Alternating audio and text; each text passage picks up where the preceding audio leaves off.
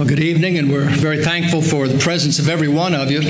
Uh, Andy, I don't know uh, which one of us was more thrilled, but I think that I can safely say I was more thrilled when you called and gave me the, uh, the invitation than you were when I said yes, because this has been on my mind ever since I believe it was January when you first called and, and offered the invitation.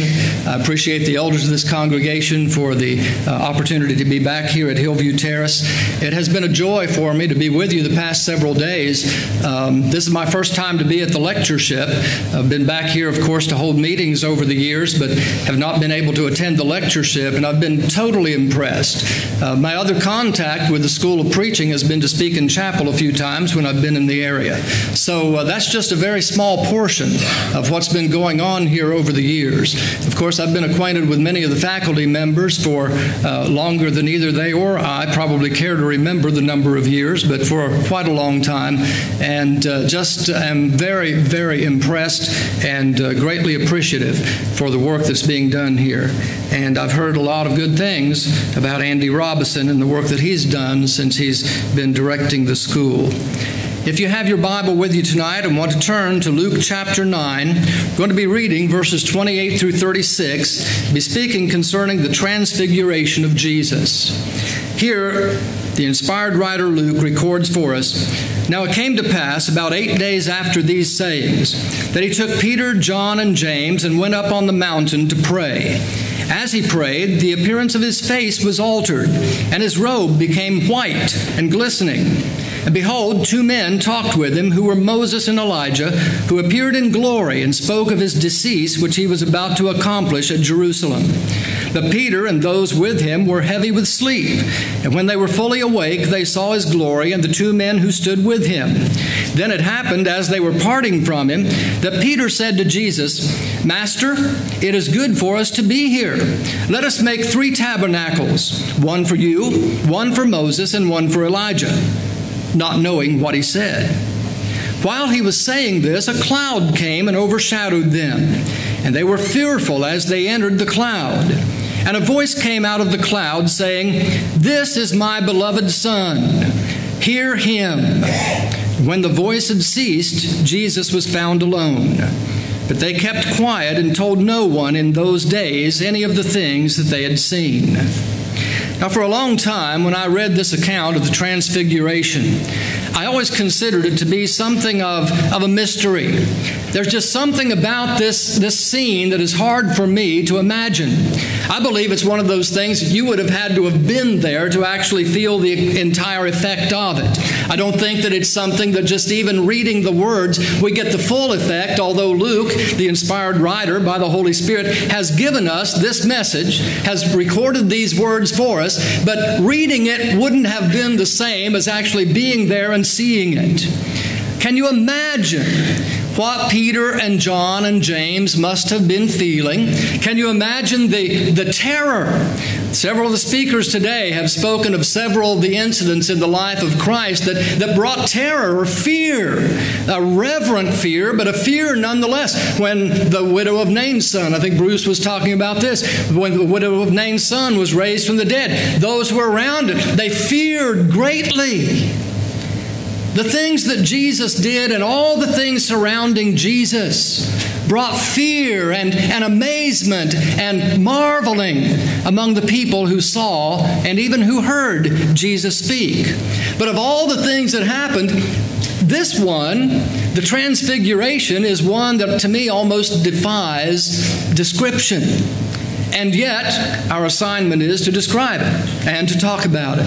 And so we're going to t- tonight to look at five aspects of the transfiguration of Jesus. Number one, we're going to be looking at the fact that it was a destination for prayer.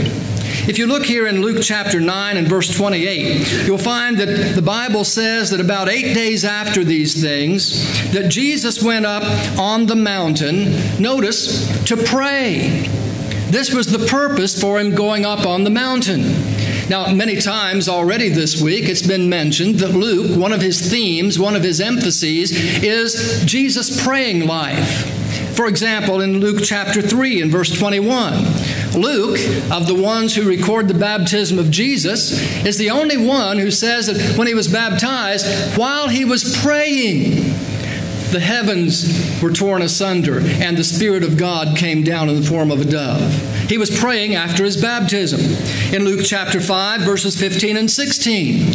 As Jesus' fame was spreading and more and more people kept crowding around him, Luke says in verse 16 that he would seek lonely places or deserted places in order to pray in Luke chapter 6, verses 12 through 16. Jesus went up on a mountain and he spent an entire night in prayer. And then, of course, the next day, as his disciples were around him, he chose from among those disciples 12, whom he also called apostles. And they then became with him and traveled with him through the rest of his public ministry. In Luke chapter 18, verses 1 through 14. And today, we had a great lesson from Keith Keith on the persistent widow in verses 1 through 9. And then later, tomorrow, we'll have a lesson on the uh, Pharisee and the publican. Two parables recorded only by Luke, both of which have as their subject praying, how we need to be praying. If you look right here in our own text in Luke chapter 9, go back to verse 18. You'll find there that Luke says that it happened as Jesus was alone praying that his disciples joined him and he asked them, Who do the crowds say that I am? Jesus was praying right when he was asking that question, that great question. So when Jesus is going up onto this mountain, he had a purpose to go up there. And the purpose for his going was to pray. Now, again, this point has been made several times, but I don't think that it can be said too much. If Jesus saw the need to spend this much time in prayer, if Jesus saw the need to get away from the crowds and from the hustle and bustle of life and to find the time to pray to his heavenly Father, then what kind of lesson should that teach us? It should teach us that we also need to spend much more time in prayer. Keith, this morning in his lesson, used the, the illustration of the lifeline of uh, an underwater diver who is connected with the boat above with a, a line uh, that pumps oxygen into his helmet. And he likened that to our connection with God in prayer. For our very spiritual lives, we need to spend much time in prayer. Jesus taught us, but Jesus showed us by example our need for prayer. So the Mount of Transfiguration was for the purpose, it was a destination for prayer. But then, secondly, we find that it was a revelation of glory. It was a revelation of the glory of the Lord Jesus Christ. As you look here, the Bible says that Jesus' face was altered. That is, literally, it became other, it became different, it changed in its appearance. And then it says that his clothes were white and glistening. The word glistening is used only one time. This particular Greek word was used only one time in the New Testament. In secular Greek, it was used to describe the brilliance of a lightning flash. Uh, last week, I believe it was last Wednesday night, we had a thunderstorm that came through Mountain Home. Can you believe a thunderstorm in Arkansas? that we have them quite often. It happened to be one of those nights I wasn't sleeping very well. I have about one of those a week, and it comes on a different night, and it doesn't really matter what's going on, and I never know what night it's going to be. But that night was one of those. I began to hear the thunder when it was just a low rumble in the distance. And I laid awake and I heard it getting closer and getting closer and getting closer and getting louder until then I also began to see the lightning flashes. Now, Diane slept all the way through it. The next morning, I said, Wasn't that some storm? She said, What storm was that? I said, The one that came through last night. Didn't it wake you up? Didn't the lightning flashes? It was so bright. It doesn't last very long, but the brilliance of it. And that's what is describing the look, the appearance of Jesus' clothing. Glistening white, like a lightning flash. And then it also says, got another one up there, didn't we? There we go. Uh, the Bible also says that Jesus' companions in conversation with him also were in glory. They appeared with him also in glory, down in verse 31.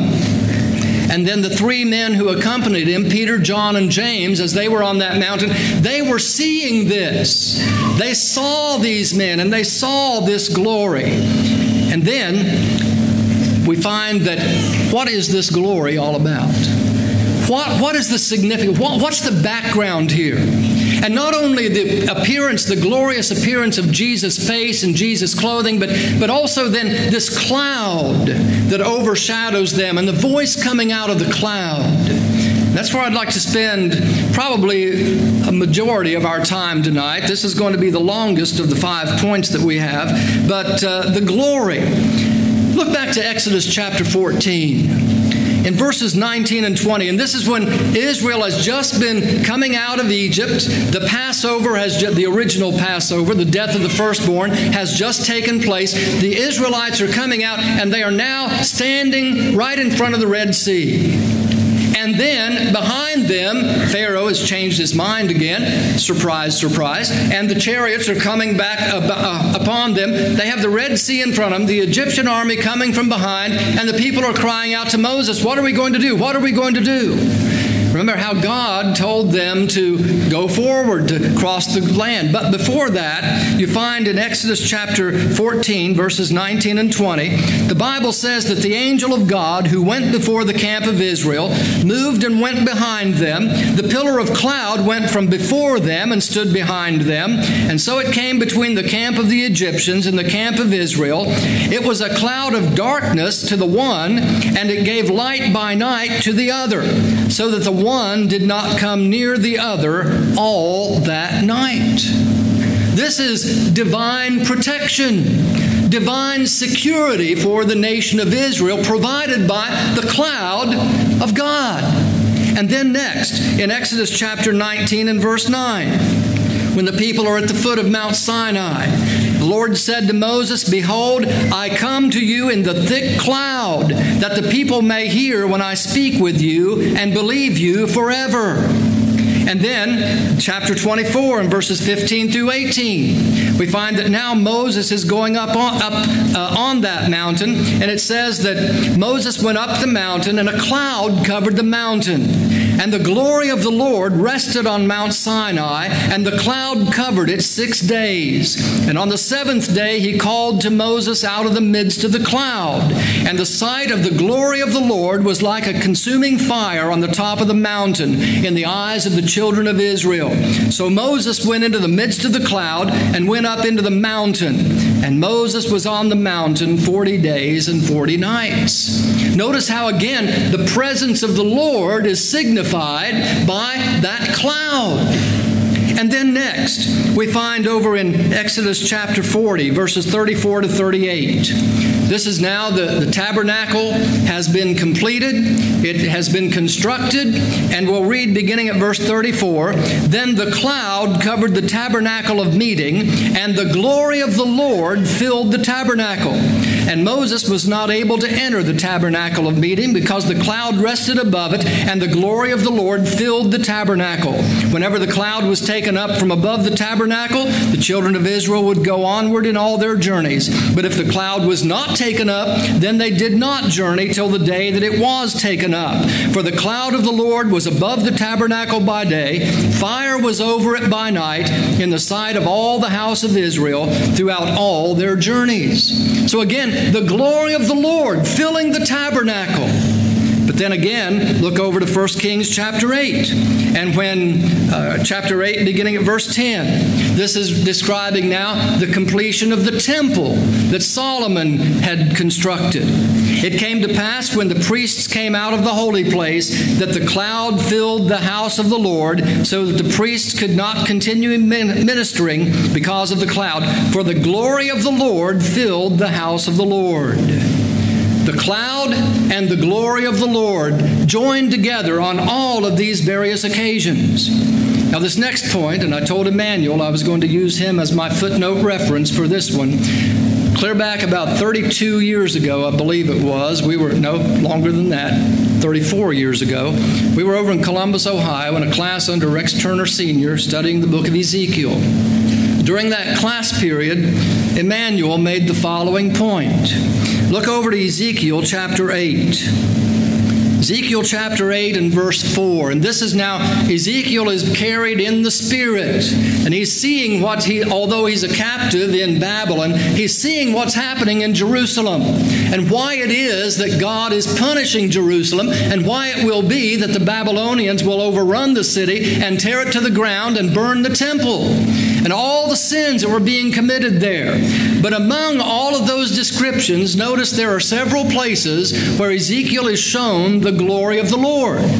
For example, in verse 4 of, of Ezekiel chapter 8, the glory of the, the God of Israel was there, like the vision that I saw in the plain. That is, it was in the court of the temple, in the inner part of the temple. And then in Ezekiel chapter 9 and verse 3, now the glory of the God of Israel had gone up from the cherub where it had been to the threshold of the temple. Now, where was the cherub in the temple? The cherubim were over the Ark of the Covenant, weren't they? And their wings touched in the middle, and then their other wings touched on the sides.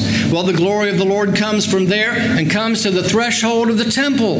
And then in chapter 10 and verse 4, then the glory of the Lord went up from the cherub and paused over the threshold of the temple. The house was filled with the cloud, the court was full of the brightness of the Lord's glory. But then in verses 18 and 19 of chapter 10, then the glory of the Lord departed from the threshold of the temple and stood over the cherubim. The cherubim lifted their wings and mounted up from the earth in my sight. And when they went out, the wheels were beside them, and they stood at the door of the east gate of the Lord's house, and the glory of the God of Israel was above them. These cherubim are the ones that Ezekiel had seen in chapter 1, uh, his introductory vision. And then finally in chapter 11 and verse verse 23, the saddest verse of all. The glory of the Lord went up from the midst of the city and stood on the mountain which is on the east side of the city. What does that represent? Well, if you go back to Exodus, that cloud stood between the Egyptians and the Israelites for their protection. When the tabernacle was completed, the cloud of the glory of the Lord filled the tabernacle, symbolizing his that he was pleased with how it was going, and this is where he is to be worshipped.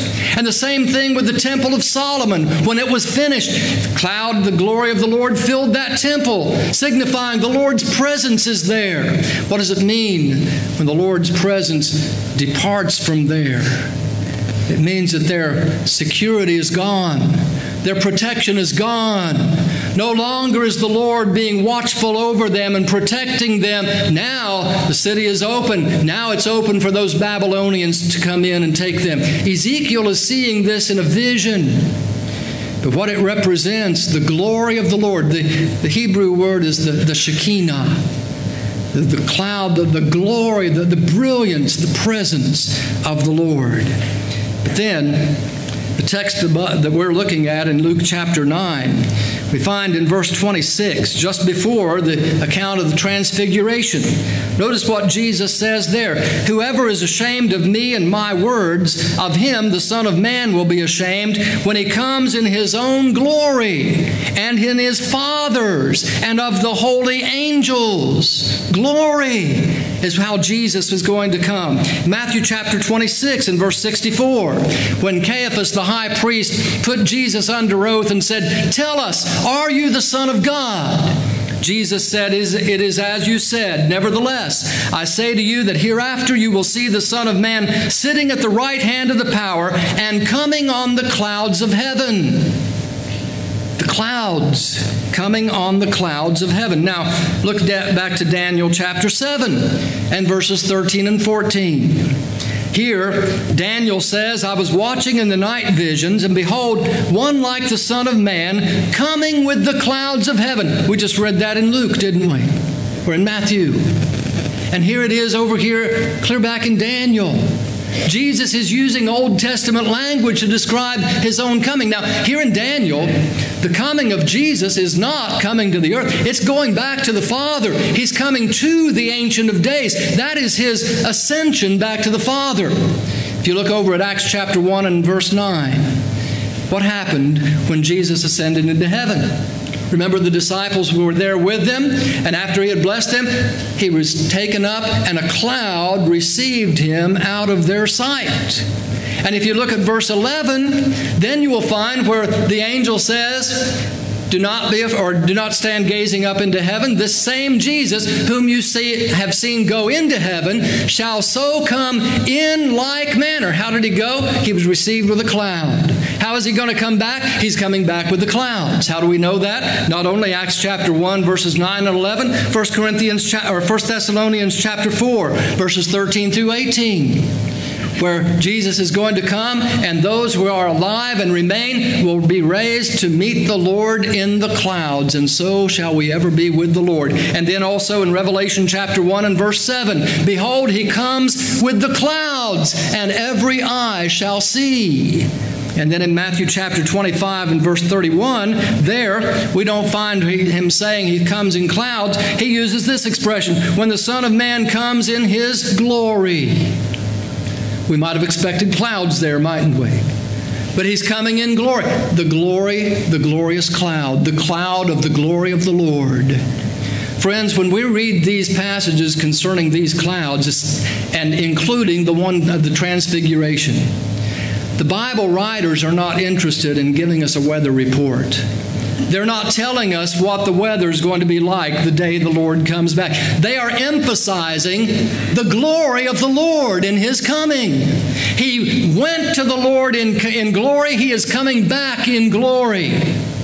And we have here in our passage in Luke chapter 9, verses 28 and following, the Transfiguration, we have a brief glimpse. It's like the curtain has been slightly pulled aside just for a moment to give us a glimpse of that glory. Peter, John, and James saw it. They saw it firsthand. They were eyewitnesses. Peter wrote about it in 2 Peter, long after, of course, the time that Jesus was on his earthly ministry, because according to the other synoptic gospels, Jesus tells them not not to tell this, not to tell this until after the Son of Man has risen from the dead. Well, Peter wrote about it later. The others, James, we don't have the writing from him, but John. I wonder if John refers to this. Well, we don't have any explicit reference, but I want you to look at John chapter 1 and verse 14. A lot of people think that this passage, and I always thought that it simply referred to everything that John saw regarding Jesus and his works, but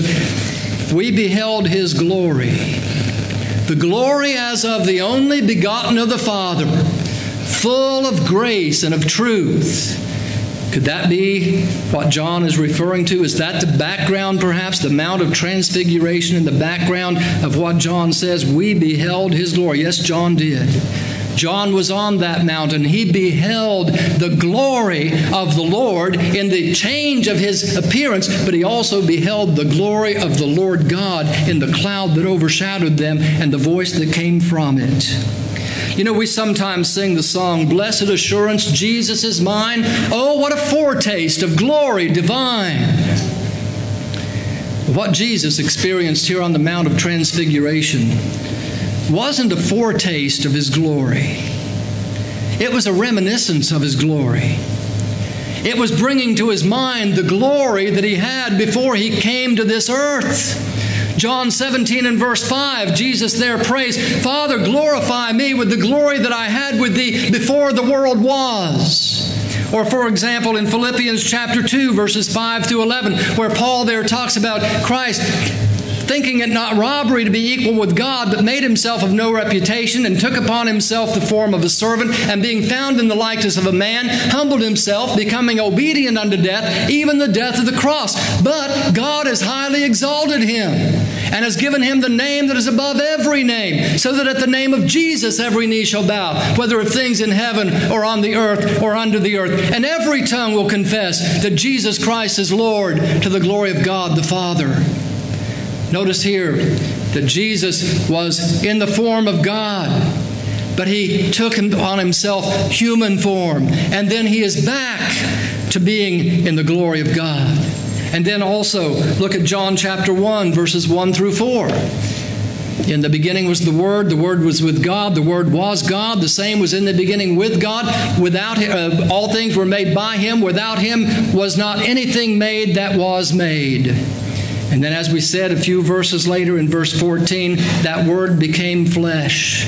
And we beheld his glory, John says, the glory as of the only begotten of the Father, full of grace and of truth. And then in Colossians chapter 1, verses 15 through 20, where again Paul talks about Christ Jesus being the. Uh, in the likeness of God, the image of God, the one by whom God created all things and for whom God created all things and the one by whom everything consists or is held together. And in Colossians 2 and verse 9, in Jesus all the fullness of the Godhead dwelt in human bodily form. Or, for example, Hebrews chapter 1, verses 1 through 4, the descriptions of the Son by whom God has spoken to us, the one by whom He made the worlds, who being the brightness of His glory, the express image of His person, upholding all things by the word of His power, when He had by Himself purged our sins, sat down at the right hand of the Majesty on high, being made so much better than the angels, as He has by, by inheritance obtained a more excellent name than they. All of these passages show us the glory that Christ had, the glory that he gave up, but the glory that he then went back to. And here on the Mount of Transfiguration, we see what we might call a cameo, a very short glimpse of that glory of Jesus that he had before and to which he was going back. It also might help us understand a little bit better if you look back to Luke chapter 9. Look down at verse 41. Remember, as soon as he comes back down from that mountain, there's a crowd of people around the mountain, around the foot of the mountain, and there's an argument going on. And uh, a man calls out from the crowd and he asks Jesus to help him because he'd brought his son to his disciples, asking them to heal him, and they couldn't. Look at Jesus' response here. Oh, faithless and perverse generation, how, shall, how long shall I be with you and bear with you? When Jesus had that reminiscence of his glory, what he had left and what was waiting for him, can you understand perhaps a little better why it is that he is wanting to get back there more quickly? How long do I have to be here when this is what's waiting for me to come? So here we have, first of all, it was a destination for prayer. It's a revelation of glory. And then next, there was a conversation going on among Jesus and Moses and Elijah. Moses and Elijah, two of the greatest names from the Old Testament. Moses, the lawgiver and the deliverer of Israel. And of course, it wasn't Moses who gave the law, God gave the law, but he gave the law to Moses and from Moses to the people of Israel the lawgiver, Elijah, the fiery prophet, the man who spoke with fiery words, very strong words, the man who opposed Ahab and Jezebel. Brother Deloach mentioned last night about Elijah's uh, being down in the dumps, so to speak, after his great victory on Mount Carmel.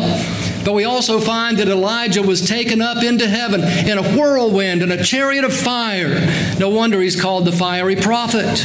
And he did so many miracles that were similar to the ones that Jesus was doing. And he preached with the power that John had preached with. So we find that Moses and Elijah there are talking with Jesus. Can you imagine the number of things that they might have had to talk about? But they had one topic of conversation that's recorded for us. They were talking about his approaching decease. And that translates the word that normally is transferred, transferred translated Exodus. An exodus, his, his departure, his going away. Now, Bruce, again this morning, or this afternoon rather, mentioned the words uh, precious and uh, what was the other one? Blessed. Thank you. Mine went blank there for a moment. Precious and blessed. Those are two words we don't associate normally with death, do we? Well, here's a third one accomplish. Do we accomplish death? Most of us don't. Most of us do anything and everything we can to keep from dying. We take medicines, we go to doctors, we'll do regimens, we'll do diets, nearly anything and everything we do. We don't think of death as an accomplishment. That's something that happens in spite of all of our efforts to prevent it. But Jesus' death is an accomplishment. It's an accomplishment because it was the fulfillment of the Father's will. This was the ultimate thing that Jesus had come to do. Yes, he came to teach. Yes, he came to seek and save the lost. Yes, he came to give us an example, but ultimately, he came to die. He came to die an atoning death for you and for me. He came to accomplish that death on the cross for the salvation of human beings.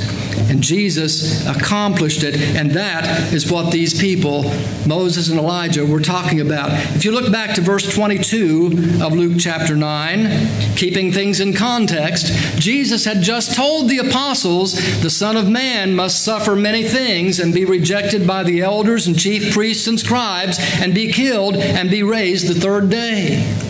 Now, here at the Transfiguration, Jesus is talking with Moses and Elijah, and the subject of conversation is his approaching death and his accomplishment of it. But then, if you look down in verse 51 of Luke chapter 9, You'll notice that there it says, Now it came to pass when the time had come for him to be received up, he set his face steadfastly to go to Jerusalem. He's beginning on that last stage, that last phase of his ministry as he's going to Jerusalem. What's going to happen? That's where it's going to happen that the Son of Man is going to be handed over, delivered up. He's going to be killed, but he will also be raised on that third day. And then next, we have an affirmation of Jesus' identity an affirmation of his identity. Look back again, Luke chapter 9 and verse 18. Now it happened that as he was alone praying, his disciples joined him and asked them, and he asked them, saying, Who do the crowds say that I am? So they answered and said, John the Baptist, but some say Elijah, and others say that one of the old prophets has risen again. He said to them, But who do you say that I am? Peter answered and said, The Christ of God. The Christ of God. That was Peter's answer. Now, what do we have here coming from the, crowd, the cloud? The voice out of the cloud says, This is my beloved Son. This is my beloved Son. What's he doing? The cloud, the voice from the cloud, God the Father, is affirming exactly what Peter has just said. It wasn't that long between the time that Peter said that and what God is now affirming. It is an affirmation of the identity of Jesus as God's Son. And we find this here in the Transfiguration. And then next, it is also a declaration of Jesus' authority. Because the cloud, the voice from the cloud didn't stop by saying, This is my beloved Son, it added these words. We didn't hear this at the baptism of Jesus. We found that affirmation of identity there also, but here these words are added. Hear him. Listen to him. There was a time when Moses was to be listened to. The law of Moses was God's covenant with the nation of Israel. And the nation of Israel were under a covenant obligation sealed with blood, with the blood of animals. They were under a covenant obligation to observe the stipulations and the regulations found within that covenant. But they didn't do it.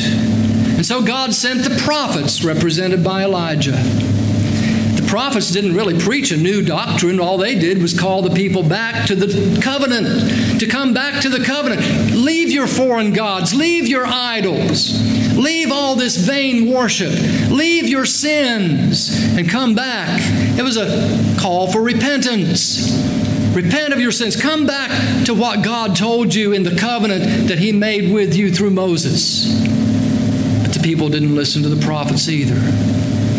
And so now God has sent his Son, his beloved Son, the Son upon whom he has placed all authority. Remember, Jesus says after his resurrection, All authority has been given me in heaven and on earth. And that is why the Great Commission carries with it all the authority of heaven that is why when we go out preaching the pure and simple gospel of the New Testament, that we have the authority of heaven behind us. It's not our words. It's not our message. It's not our gospel. It's not our way of salvation. It's God's way. And as long as we preach it the way God revealed it, we have that authority behind us. not because of who we are, but because of what the message is and who Jesus is and who his Father is. We find in Hebrews chapter 1, verses 1 through 4, we quoted part of it a little while ago. By the way, Hebrews 1 1 through 4 is the other place in the New Testament that you find uh, what's called the periodic style of the Greek literature, like Luke chapter 1, verses 1 through 4. It's all one sentence, one long sentence, and it's marked with alliteration. It's marked with a very high and flowery, lofty speech. But when you boil that one long sentence of four verses down, what is saying is God has spoken. Everything else describes either the God who spoke, or when he spoke, who he spoke to, or by whom he has spoken. God, long ago, spoke to the fathers by the prophets, and he did it in a variety of ways and at a variety of times.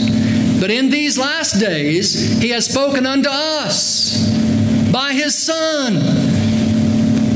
He is the one who speaks. He is the one to whom we are to listen.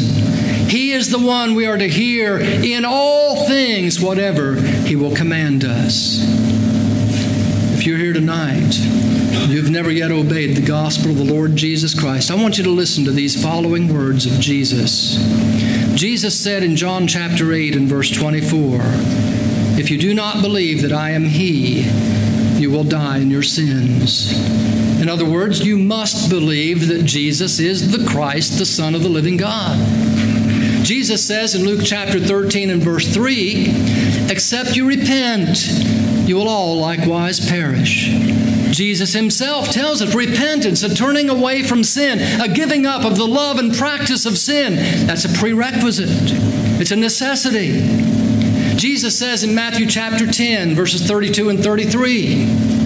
Whoever will confess me before men, the same will I confess before my Father who is in heaven. Whoever denies me before men, him will I deny before my Father who is in heaven. In other words, we need to make a confession of our faith in Jesus, that he is the Son of God. And then Jesus says in Mark chapter 16 and verse 16, He who believes and is baptized shall be saved. He who does not believe will be condemned. Friends, those are the words of Jesus. Every one of those passages, you look at them in context John 8 24, Luke 13 3, uh, Matthew 10 32 and 33, Mark 16 16. Those are the words recorded of Jesus in context. These are Jesus. You need to listen to Jesus. Doesn't the cloud there on Mount of Transfiguration tell us we need to hear him? Listen to him. This is what he says. This is God's way of salvation. We have the authority of heaven to preach that very message. You have the authority of heaven to obey that message and then expect to receive all the blessings and all the promises that are attached to your obedience. If you're here tonight and you're not a, and you're a wayward Christian, Jesus didn't speak to this point, but his word speaks to it. Peter speaks to it over in Acts chapter 8 as he is telling Simon the sorcerer, Repent of this thy wickedness, turn away from it, and pray to God that you the iniquity of your heart might be, might be forgiven. That is how a wayward Christian is restored and forgiven and restored to faithful and dedicated service. You've never done the first by obeying the gospel of Christ, or having done that, if you're a wayward Christian and need to come back, will you listen to the Word of God, to the words of Jesus? Will you submit to the authority of heaven tonight and respond to the gospel invitation while we stand and sing to encourage you? Oh, how sweet!